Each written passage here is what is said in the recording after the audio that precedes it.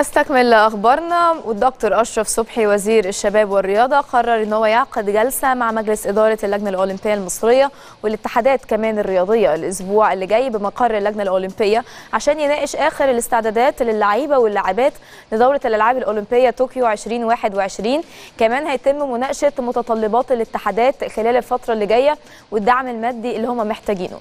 اللجنة الأولمبية الدولية كانت أكدت في بيانات رسمية خلال الفترة اللي فاتت إن دورة الألعاب الأولمبية طوكيو 2021 في ميعادها والتأجيل للمرة الثانية خارج الحسابات. تماما.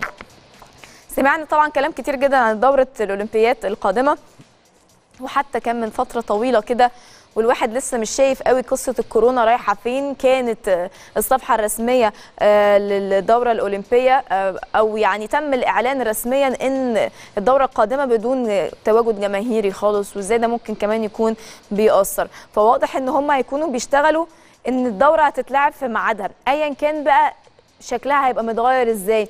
قيمتها و... وشكلها في عيون المتابعين ومحبي الرياضة ممكن يكون متأثر إزاي بسبب الظروف الحالية؟ ده مش متبص له خالص متبص إن هي ما ينفعش يتم تأجيلها مرة ثانية وواضح جدا كمان إن يعني الدنيا عندنا هنا مهتمية جدا بالدورة القادمة والبعض كمان في الاتحادات بيشير ان في رياضيين استفادوا من تأجيلها لمدة سنة.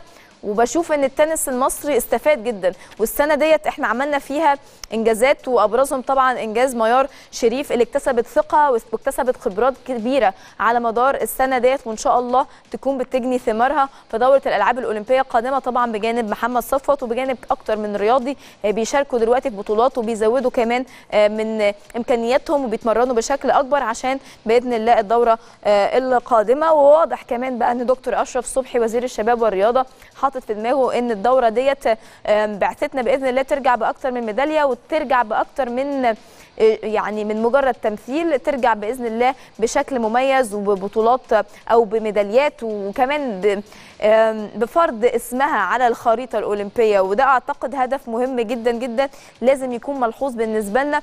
كل دورة بيفرق عنها أربع سنين طبعا بخلاف الدورة القادمة خمس سنين.